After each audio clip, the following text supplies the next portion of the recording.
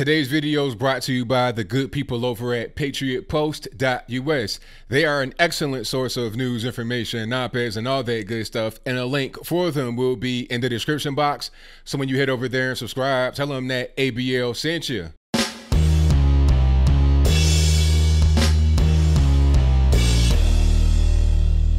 How's everybody doing? My name is Anthony Brian Logan, and today we got to talk about Nancy Pelosi finally handing over the articles of impeachment to the Senate. Now, this had been going on for quite a while as far as the impeachment process is concerned. Nancy Pelosi said, not me saying, she said that this whole process started way back with the whole Russia gate kerfuffle. That's what she said, although Facebook disagrees with that, but different story. So I digress. My whole point is that that's what she said.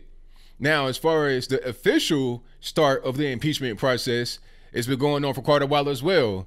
A month, two months, three months, whatever.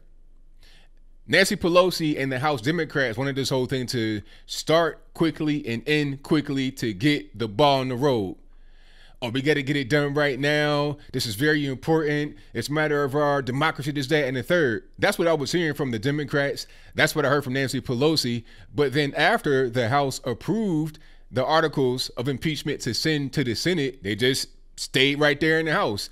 They did not get transferred from the House to the Senate. All that it takes is a two minute walk from Pelosi to go from the House chamber to the Senate chamber to hand over the articles. Is all that it takes but it's taken a lot longer for that process to begin. And the reason Nancy Pelosi gave was, oh, we want to have a fair trial from the Senate Republicans. Things got to go right. Well, first of all, Nancy Pelosi, you're not in the Senate. You are the Speaker of the House. You were not Mitch McConnell. You are Nancy Pelosi, Speaker of the House. You're not in the Senate, so you can't dictate how things go in the Senate even if you were in the Senate, you can't dictate how things go. I'm sure Senate Democrats want to dictate things a certain way, but they can't because there are rules in the Senate.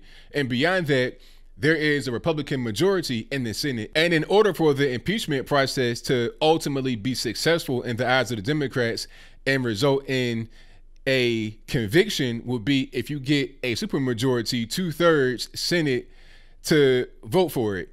That means you got to have 20 Republicans that vote for this, although there were no Republicans. I think it might have been one guy, uh, Justin Amash, who's retiring right now. You're not going to have enough in the Senate to have it happen. And you've known this from the beginning.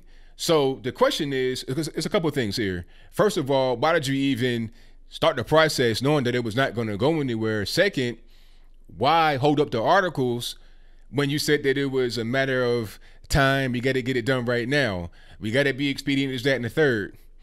Uh, a couple of things here. I think, first of all, that Nancy Pelosi didn't really want to do impeachment because remember earlier in the presidency, she was saying, well, we shouldn't really do it. It'd be a distraction, this, that, and the third.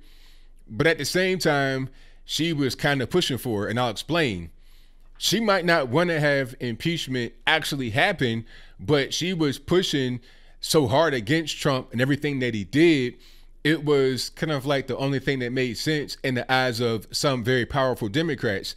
When I say powerful, I'm talking about the squad specifically, the AOCs, Rashida Tlaib, Ayanna Presley, Ilhan Omar, also uh, Jayapal. She's a, she's a newest squad member, but that's a different story. And I digress. My point is that these far leftist Democrats have pushed Pelosi to a place where she didn't want to go, but at the same time, by her actions, was the only place that she could go, according to the far leftists. So she made her own bed. Now she's got to lie in it. The second question is this Why did it take so long for her to say, okay, I'll hand over the articles right now? I mean, she didn't get anything she wanted, and she had no leverage from the beginning. So why do it now?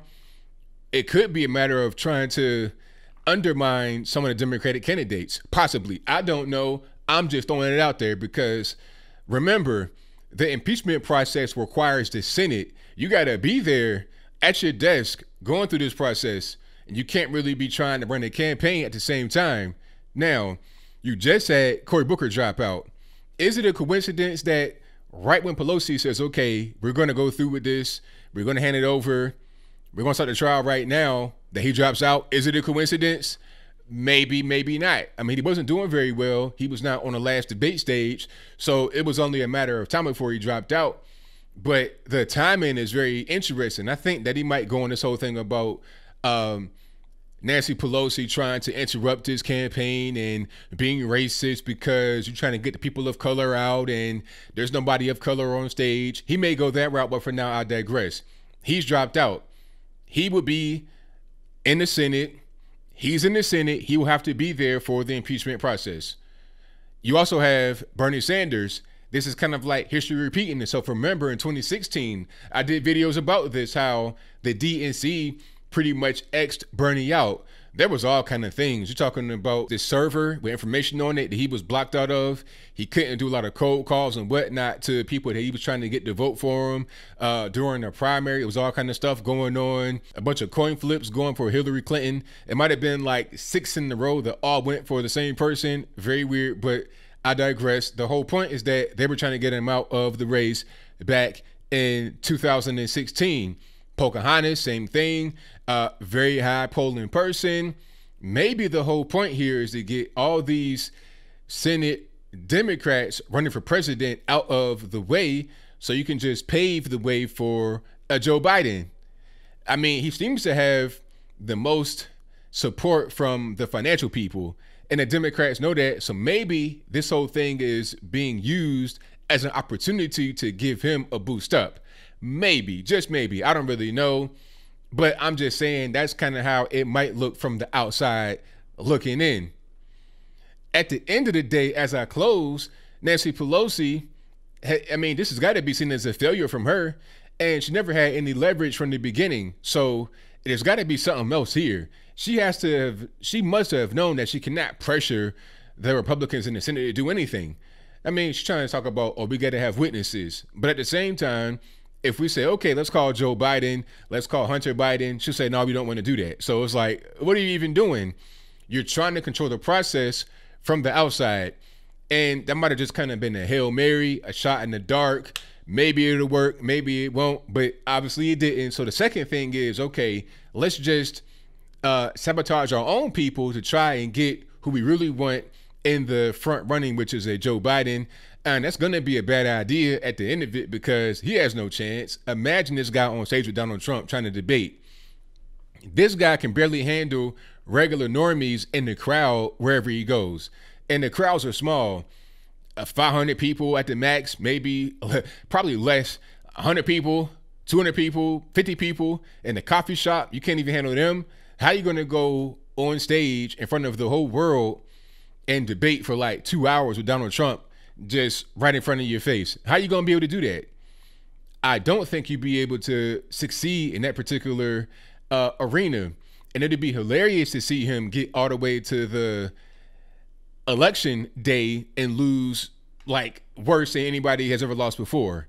It'd definitely be worse than Hillary. Hillary Clinton was much stronger than than anyone is right now, and she got stomped down when it came to the election. So how will anyone else fare any differently or anywhere near as close to what Hillary Clinton did? I can't tell, but I think I'll leave it right there for now. And what say you? Do you think that Nancy Pelosi held up the articles of impeachment because she was trying to sabotage some of the Senate Democrats that are running for president right now? If that's your viewpoint, let me know why in the comments below. Or was it because she was trying to get the Senate Republicans to adhere to her whim to say, okay, you got to run your trial this way. We want to have this person get on stage. We want to have that person. Is that and the third?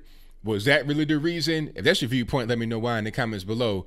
I have a hard time believing that because there was never any leverage.